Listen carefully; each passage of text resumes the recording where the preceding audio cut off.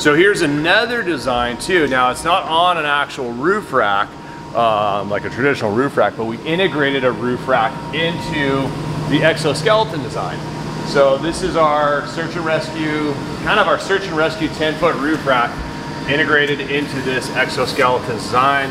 Nice and tight here. I mean, we're talking like, I don't know, maybe uh,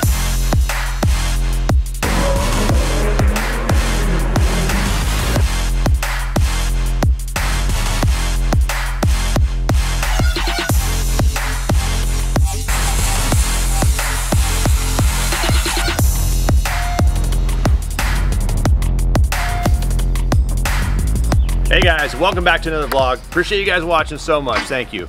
Uh, we've got some cool stuff on today's vlog. Also, next week we have uh, the daily driven exotics Hummer. We're gonna strip that thing down for paint, so we'll have a full episode um, on the DDE truck.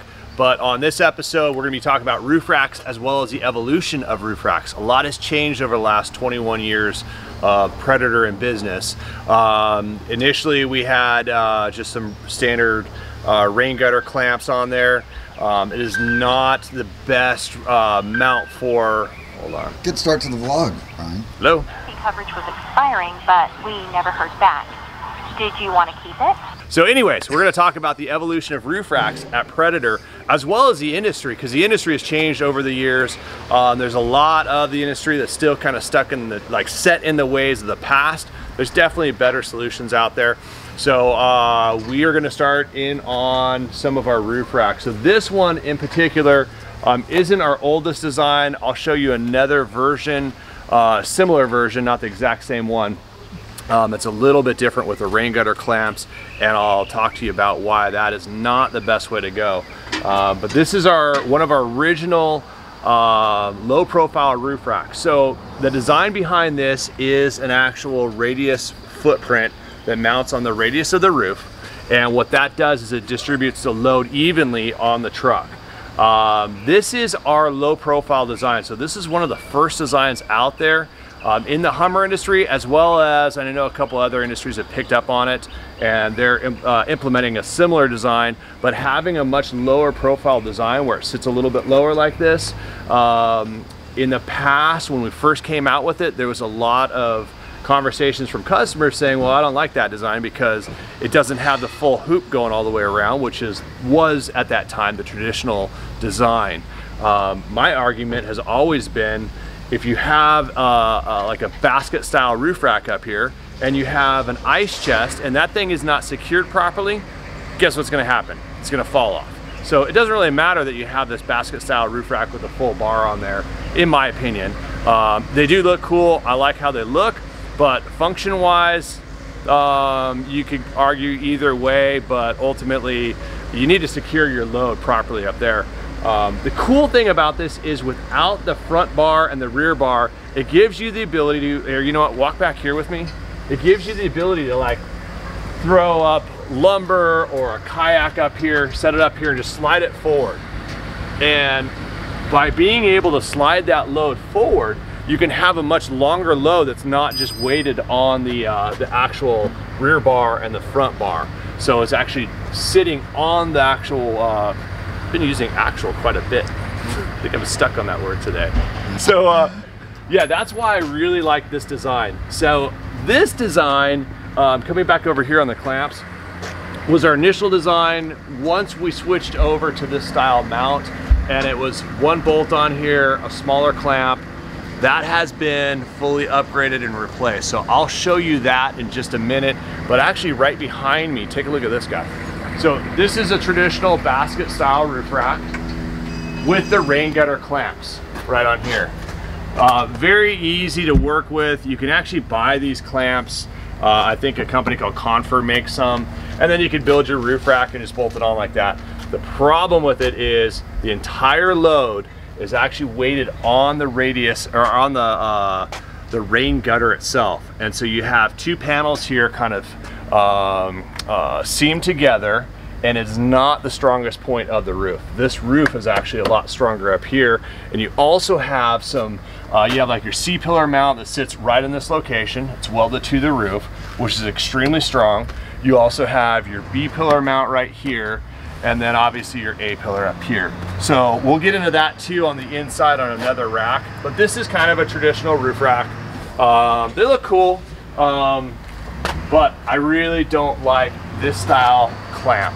It does not, does not suit well for the Hummer. Now, maybe if you've got another truck um, and you don't have that option of actually resting on the radius of the roof, then this would probably work fine. But I've actually seen these guys folded over when there's actually there's see actually again it is ridiculous. Yeah, this just I'm- looks scary to me though too. yeah. well, Like- well, just imagine you put a heavy load on here, it's gonna fold this thing down. So we've seen that before. We'll look around the, the, the lot here. Maybe we have a truck that has that on there.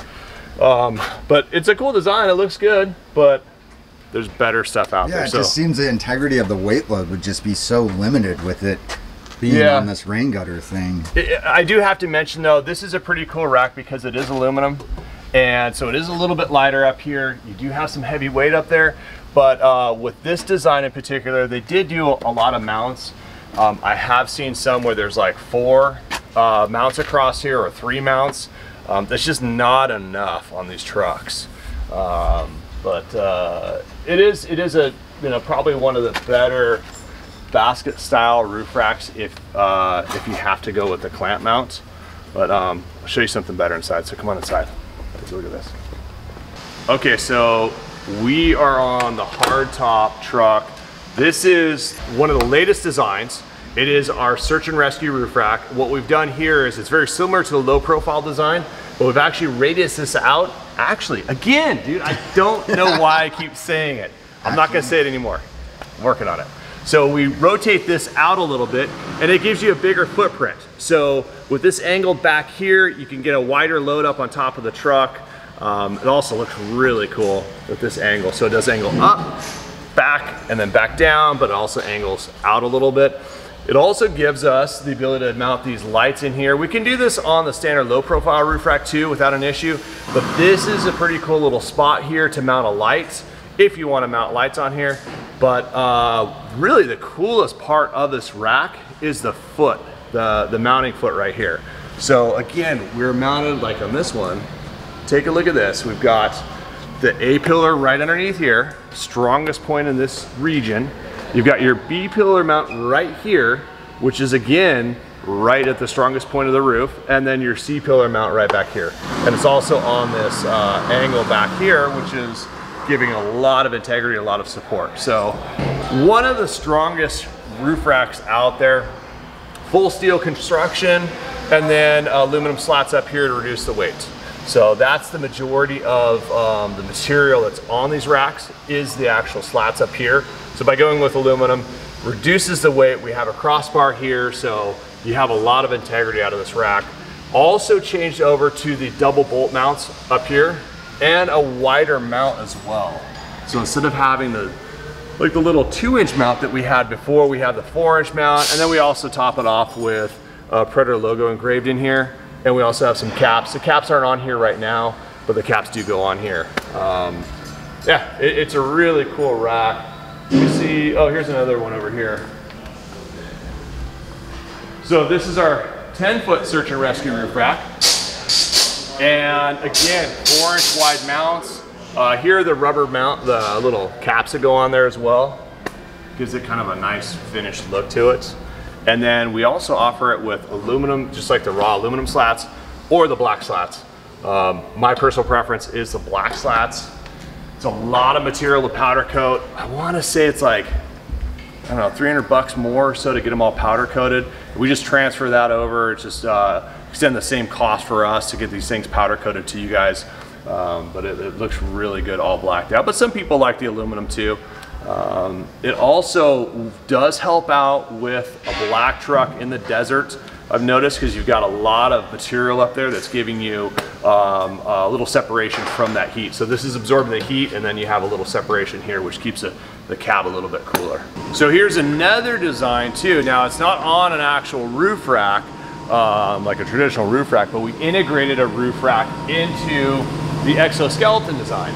So this is our search and rescue, kind of our search and rescue 10 foot roof rack integrated into this exoskeleton design. nice and tight here. I mean, we're talking like, I don't know, maybe uh, uh, solid quarter inch or so off the body. It's really tight there. And then we have the, uh, the roof rack design mounted up here. Uh, we were able to mount lights off of the lower bar here as well as the roof rack bar up here, which is also part of that exoskeleton. Um, this one's a little bit different because the decking is all aluminum plates, like thick quarter inch aluminum plates that are bolted down. Um, and you'll see that pattern here. If you could, Jason, pop up there and show them what it looks like. So you can see that design has that uh, kind of a cross design um, triangulated across the whole entire roof rack. And then we have the aluminum plates that fill that in. So yeah, again, um, another kind of roof rack design integrated into the whole exoskeleton. Yeah, it's such a cool truck. Yeah, we're just waiting on interior right now from Roy. I mean, it's the problem is it's not like oh, it's one week get the interior done. The interior alone that's going into this thing is taking probably six to eight weeks to do, and that's because we have to remold the full interior pieces. We can't just take the original panels and just throw some leather on there and call it good. Uh, it's actually fully remolded, so there's a lot of work that goes into this. So here shortly, as soon as I'm looking up at Roy right now, um, I'm kind of glaring at him right now, hoping that he's done soon. Where, where's that? he's, he's up there. Up there in the windows? Yeah. that's that's his bird's nest up there. But uh, yeah, I was hoping that uh, we'd have it back by now, and I know it's just it takes time to do it right. So as soon as it comes back, we'll get that in there. Um, new rims and tires are going on. We have the rims and tires. We're just not putting them on yet because there's no sense to. That'll probably be one of the last items. No reason to scratch them. Um, it definitely looks a little anemic right now because it has the stock offset rims um, as well as narrow tires. So uh, coming.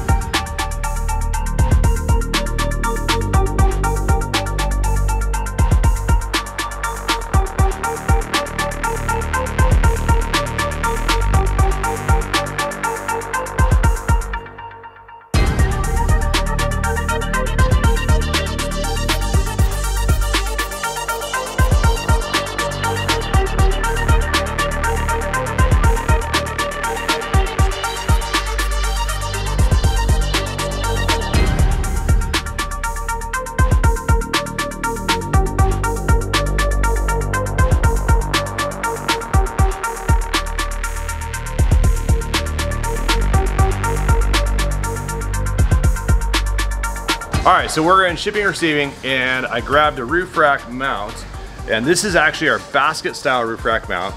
Very similar to the uh, search and rescue one. The only difference is we have two additional holes mounted in here where we slide in two stainless steel bolts, weld them in place on the inside, and then fully weld the mount itself.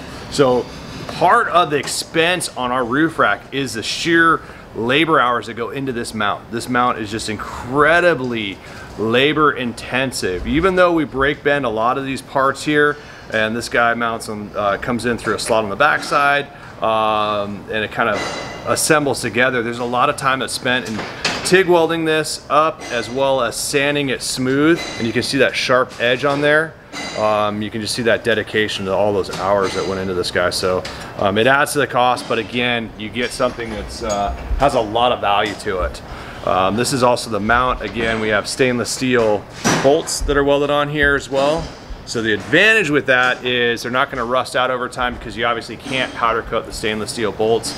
Um, the disadvantage to it is you got to be really careful when you're bolting this thing together. The roof racks do come with anti-seize. It's very important that you use that anti-seize on here when you're assembling it um, because it will bind up and snap off the actual bolt here. So be really careful about that. And we also have the Predator logo engraved in there. Um, oh, we also have um, a rubber pad that goes underneath there to protect the roof of the truck. So this guy mounts right there. So yeah, nice little, nice little mount. Um, again, ton of hours that go into this thing, unfortunately, but uh, we chose to do it right as opposed to just, you know, fabbing up some quick, easy mounts. that, What uh, machinery do you use on this stuff that you're talking about? Um, In fact, you actually, yeah. Breaker or whatever? Yeah, if you want to, let's go in the back. I'll show you. Uh, so we're gonna go to the fab department now.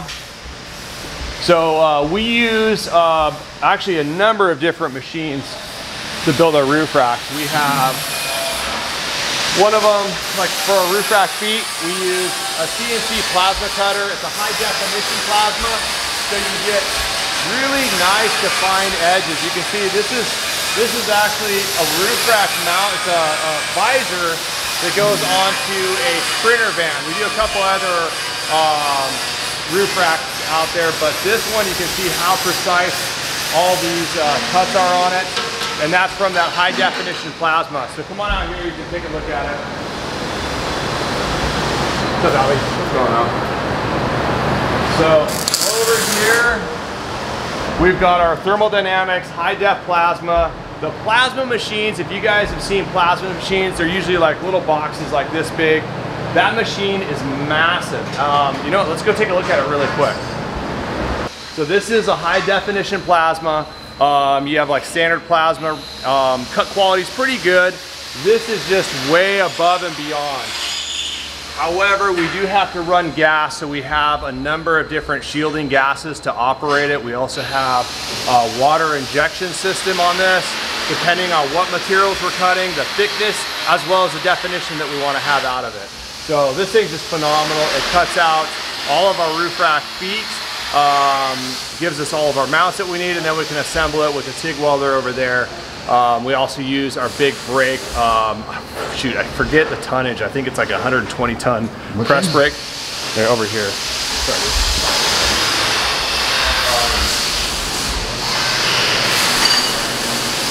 So we got a American-made Baileigh um, industrial press brake. This thing's massive.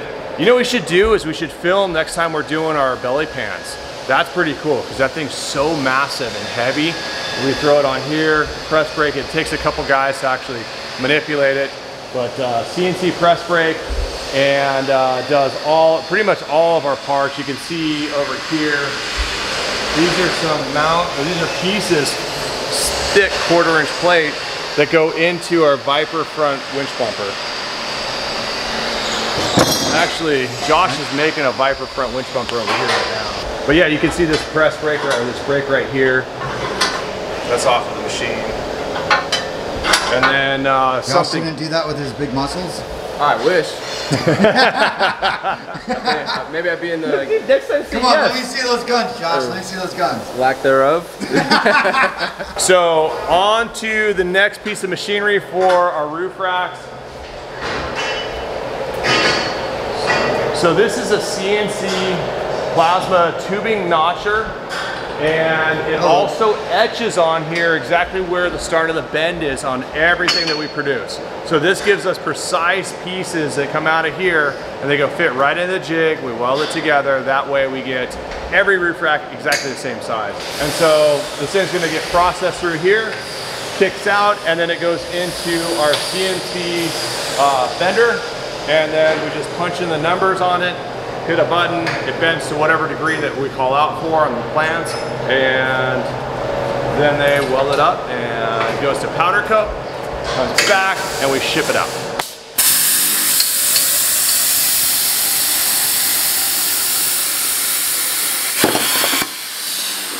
Hey guys, I want to get a bit more content on the wagon that was in one of the last episodes that Wilson filmed.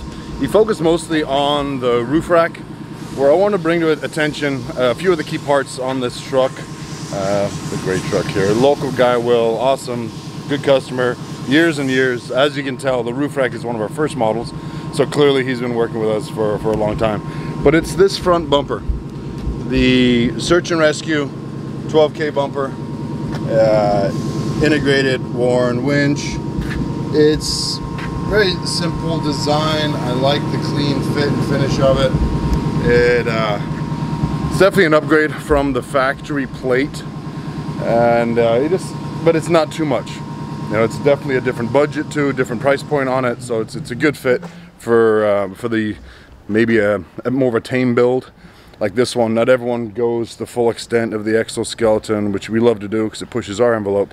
But this is one thing I really like about this truck because it has uh, very clean lines to it, nothing really over the top. So another fact or another feature of this truck that I like is the step rear bumper. We don't sell many of these, but I think it's a good addition to the factory rear bumper.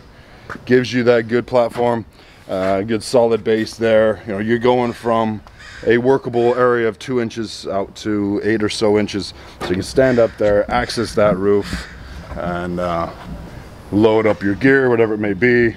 Still has a clean lines to it. Again, it's not over the top. I think it just is a is a good looking part. Complements this whole uh, build that he put together with the uh, search rescue front bumper, unique one-off front uh, brush guard that he asked for the light bar that is then equipped with all the Baja design lights and that roof rack. Uh, this is the nine foot low profile that uh, Wilson mentioned before. And then that step rear bumper. Inside to control all these lights, he went with the uh, this style light switch, light setup. And uh, for life of me, I can't remember the brand. Uh, but I met with those guys out in, I think it's Switch Pros. I met with them out in SEMA. Um, good guys, work with those guys every now and then. Yeah, just a quick little rundown on this truck, going into a little bit more detail. All right, guys, I appreciate you watching. Thanks so much. Um, on the next episode, or possibly two, we're gonna feature the DDE truck. We're gonna fully strip this thing down, get it ready for paint.